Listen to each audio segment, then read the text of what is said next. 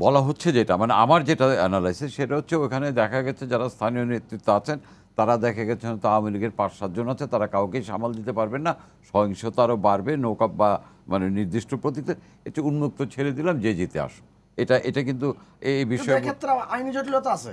Union পরিষদে local গভর্নমেন্টে আপনি আইনি সংশোধন করে বলা হয়েছে প্রতীক দিয়ে নির্বাচন হবে। চেয়ারম্যানদের আপনি নৌকা দিবেন আবার মেম্বারদের নৌকা দিবেন না না না সেটা ব্যাপার না, না, কিন্তু দাদা, অনেক না না না আরেকটা ব্যাপার আছে আমি আওয়ামী লীগ বা এই যে বিএনপি যেমন কাউকে নির্বাচন মনোনয়ন দেয়নি তাকে এটা তো কোনো আইনি বাধা নেই বিএনপির মনোনয়ন তো কৌশলগত মনোনয়ন না আপনার ধানের আপনার।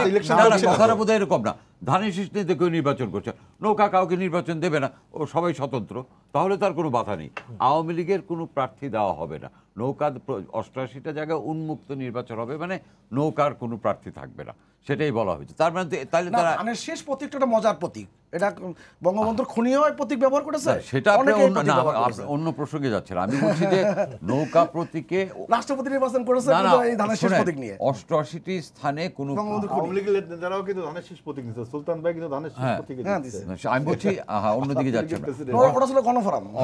ছাত্রলীগের প্রেসিডেন্ট তিনি। অষ্টআশিটি স্থানে কোনো প্রতীক দেওয়া হবে না। এখানে সবাই অন্যান্য প্রতীকে নির্বাচন করবে। এটা খুব সিগনিফিক্যান্ট বোঝা যাচ্ছে যে মানে এটার আর ব্যাখ্যা বোঝা দেওয়া। আমি খুব ইন্টারেস্টেড যে দাদার ওই যে অনুপ্রবেশের কথা যেটা বললেন যে ঢাকার থেকে যুবদল বা একজন গিয়ে সাতক্ষীরা, যেটার উদাহরণ আমি একটু আগে দিলাম। এই অনুপ্রবেশ যারা করেন, আমি কিন্তু তাদের কোনো দোষ দিই না। আমি দোষ দিই আমি আওয়ামী লীগের যারা এই অনুপ্রবেশকারীদের স্থান করছেন, এটা দাদার প্রথম যে লোভের ব্যাপার বললেন, ব্যক্তিগত লোভ হোক, ইত্যাদি লোভের, এই ব্যাপারটা যদি আওয়ামী লীগ অনুধাবন না করে, আমি তো একটা উদাহরণ দিলামই আমার কর ইয়ে এলাকার যে যুবদলের সাধারণ সম্পদ এখন মন্ত্রীর নামে তরুণ বানাচ্ছে এবং স্থানীয় এক নেতার ভীষণ আসন এই বিষয়গুলি কিন্তু আওয়ামী লীগের ক্ষতি করছে, আমি আওয়ামী লীগ বলে। এবং দেখেন আরেকটি আছে কি, আমি জানি না এবার কি, আগে কি হতো বিদ্রোহ থেকে আপনি বহিষ্কার করলেন, এটাই আওয়ামী লীগও করেছে, বিএনপিও করেছে। জিতলে আবার আপনি তাকে ফুলের মালা দিয়ে নিয়ে আসলেন তাই না? এই উদাহরণ কিন্তু দুই দলেই আছে। তো আওয়ামী লীগ এবার বলেছে যে তারা এই কাজটা করবে না। আমি জানি না যদি এই কথা রাখে it will be an example আপনি যত আবার একটা কাজ- কাজল ভাই সাতক্ষীরাতে লাপসা ইউনিয়নে এটা ওনার পরিচিত হবে সেখানে বিএনপির একজন ইউনিয়ন পরিষদের চেয়ারম্যান হয়েছেন। হ্যাঁ। হয়েছেন। এবং তিনি উনিশশো অষ্টআশি সাল থেকে এ পর্যন্ত সাতবার নির্বাচিত চেয়ারম্যান হয়েছেন।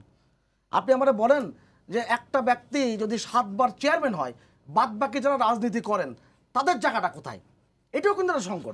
এটা সংকট আবার সাতবার যদি মানুষজন ওনাকে পরপর ভোট দেন তাহলে তো মানুষ চায় ওনাকে। না না তাহলে অষ্টমবারে আবার আরেকটা সংকট তৈরি হবে। একটা দল যদি দাদা তিন চার বছর পর পর ক্ষমতা থাকে তাহলে অন্য দলের রাজনীতি করার না সেই আলোচনার উত্তর আমার কাছে আছে। সেটা অন্য সেটা অন্য প্রশ্ন আমি যেটা বল আমি যেটা মনে করি যে যেটা এই প্রতীকের কথাটা তো আমি বললামই এবং আমি একদম একদম কালকের উদাহরণ দিয়ে বললাম তাই না? এবং অষ্টআশিটা জায়গায় এটা কিন্তু অলরেডি ডিসাইডেড এবং কাগজে। এটাই আপনার মার্কার অবস্থাটা বুঝতে পারছেন। আমি কিন্তু আবারও সেই অনুপ্রবেশের ব্যাপারে বলব। আওয়ামী লীগ অনেক বছরের, সাত দশকের পুরনো একটি রাজনৈতিক দল এবং তারা এতদিন ক্ষমতায়, তাদের সাংগঠনিক ভিত্তিও অনেক গভীরে। কাজে তারা যদি সেই সাংগঠনিক ভিত্তি নিয়ে এই অনুপ্রবেশ না ঠেকাতে পারেন, লোভের কারণে এর চেয়ে দুঃখজনক তার কিছু হতে পারে